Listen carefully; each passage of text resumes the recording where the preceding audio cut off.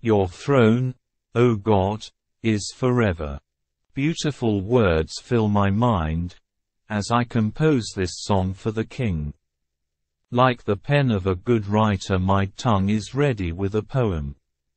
You are the most handsome of men. You are an eloquent speaker. God has always blessed you. Buckle on your sword, mighty King. You are glorious and majestic.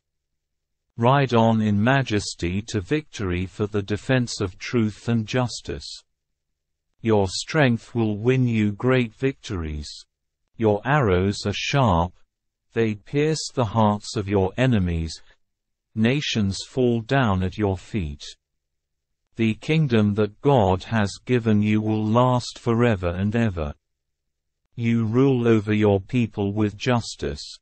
You love what is right and hate what is evil. That is why God, your God, has chosen you and has poured out more happiness on you than on any other king. The perfume of myrrh and aloes is on your clothes. Musicians entertain you in palaces decorated with ivory.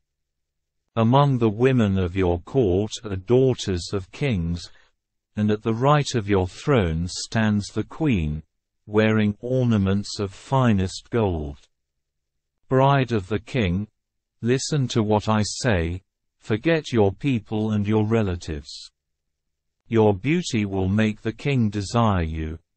He is your master, so you must obey him. The people of Tyre will bring you gifts. Rich people will try to win your favor. The princess is in the palace.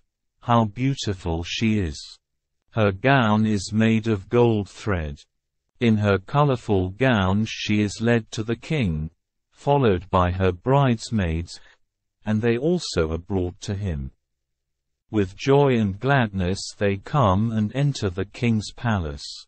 You, my king, will have many sons to succeed your ancestors as kings, and you will make them rulers over the whole earth. My song will keep your fame alive forever, and everyone will praise you for all time to come. Psalm chapter 45 verses 1 to 17. Good News Bible